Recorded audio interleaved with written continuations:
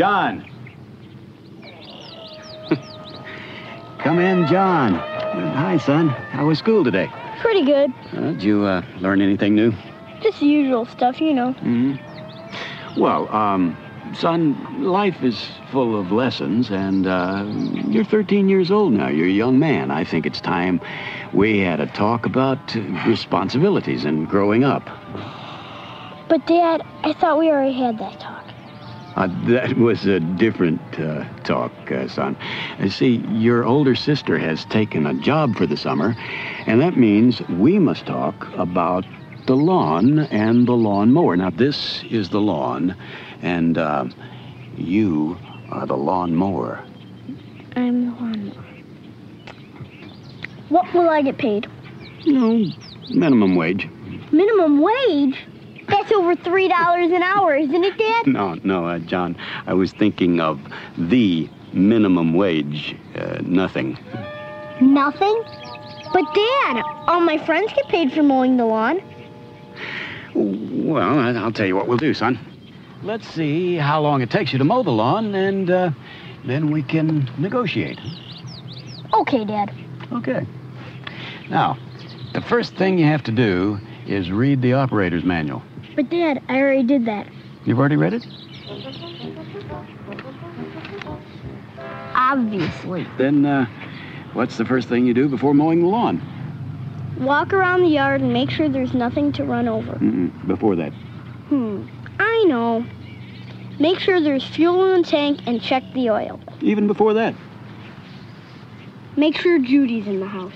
Oh, well, that's nice that you think of your little sister, but uh, before that, I mean, even before you leave the house, even before you leave your room, What? your toes, My toes? they're naked. But Dad, it's hot outside. My feet love to breathe. John, your feet are going to bleed if you don't dress them in a pair of substantial shoes.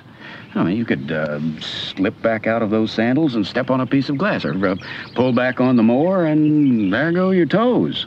Okay? Okay. Now, let's see you start the mower. Okay, Dad, I'll go get it. Uh, John.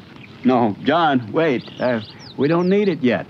Let me see you start uh, this mower. What mower? This mower, right here. How do you start it, my boy? Easy. All you have to do is set the throttle and pull the starter rope. Okay, let's see you do it. Dad, the neighbors will think we're crazy. Will think I'm crazy. John, there's no one looking. The coast is clear. Go ahead, let her rip. Okay, Dad.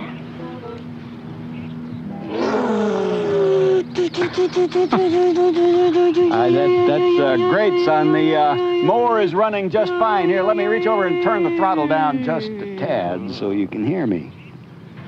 This is weird, Dad. Never mind that. Now, You're about to be tested. Now, look, I want you to mow forward and cut the grass around that flower bed. Okay, Dad. Uh, John, why are you pushing the mower? How else am I gonna get it to go forward? This is a, this is a self-propelled mower. You have only to squeeze the levers to the handlebar, and the mower will pull itself forward. Okay, Dad. I'm squeezing everything. Yeah. That's my boy. I knew you could do it. All right, now, you're doing very well here. You're mowing along, see? Everything's going real well. And all of a sudden, Judy runs out behind that bush. Stop. That was very good. You see, by releasing the upper lever, you disengage the mower blade.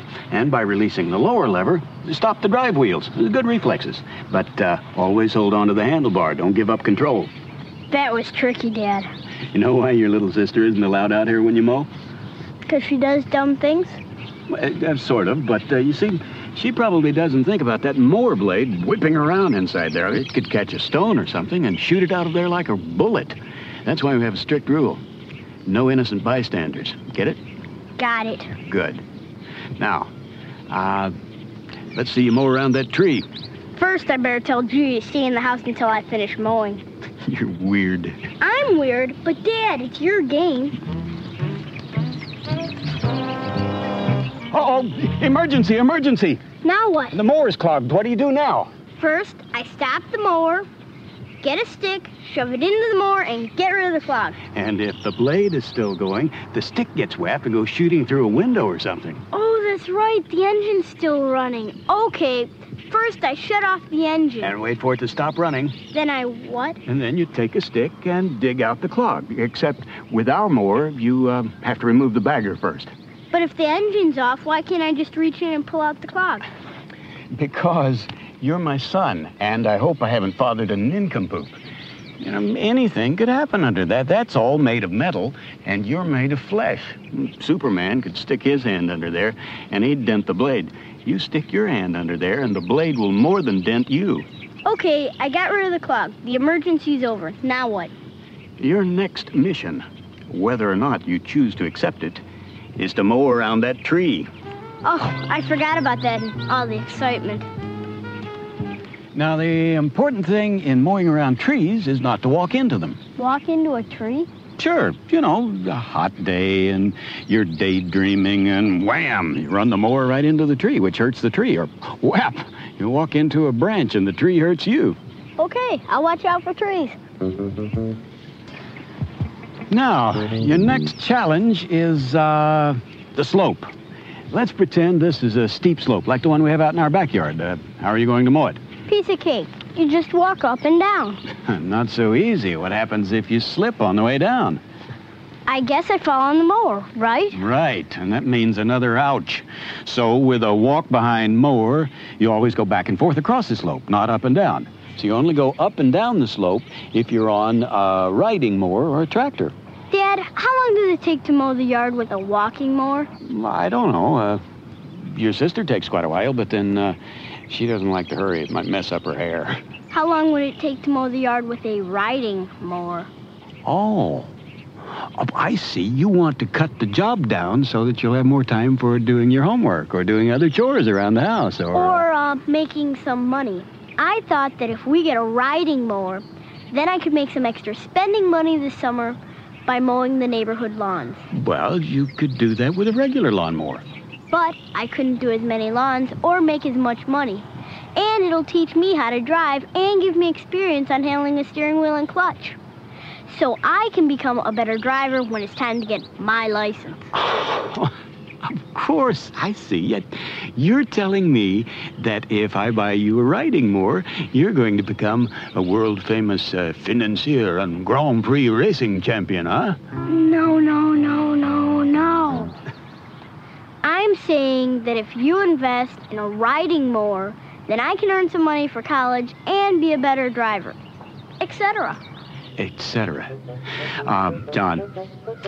John, uh, come here. Walk over here with me. Here, just uh, uh, sit right down there beside me. All right, now, uh, this is your driver's test for your new riding mower. All right, t- take the wheel now. We'll uh, assume that you've already read the operator's manual. You know where all the controls are and how to use them. Now, we're cruising right along, mowing the grass. What's the first emergency? gotcha. You already flunked the test. Never take passengers. That's not fair. You're not a passenger, you're my father. You're giving me the test. You know what I mean. Okay, uh, I'll overlook the infraction this time, but never let your friends or little Judy ride on the riding mower. One slip and you're both in trouble. I promise I'll never let anybody ride the new mower that we don't even have yet. Good. Now, you see that uh, row of bushes up there? Mm-hmm. All right, you're going to have to stop and back up. How are you going to do that? Don't get carried away here. Go into reverse. Back up.